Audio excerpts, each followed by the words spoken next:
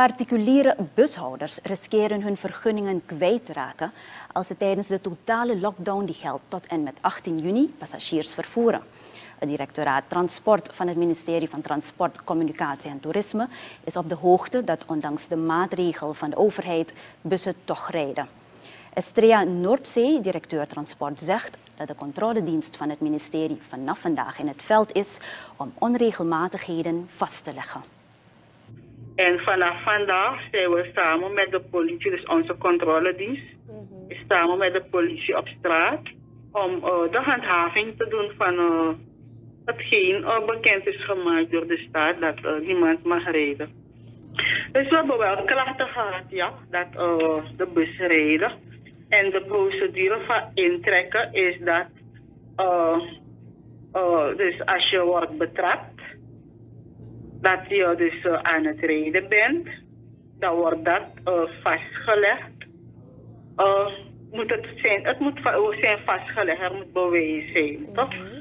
En op basis van dat bewijs gaat de minister dat intrekken. Die vergunning van betrokkenen wordt dat ingetrokken.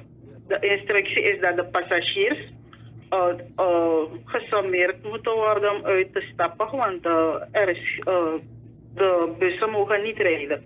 Dus als een bus wordt betrapt door onze medewerkers, door de politie, moet iedereen gewoon uitstappen. Noordzee verduidelijkt dat de staatsbussen niet rijden.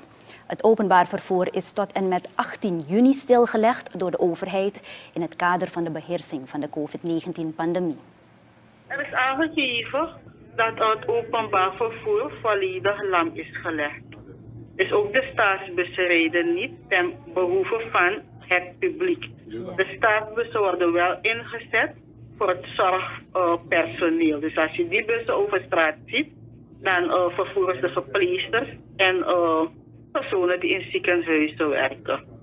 Indien men uh, zich niet houdt aan de instructie van de staat met betrekking tot het lam leggen van het openbaar vervoer, uh, het ministerie van TCT per direct die vergunning intrekt.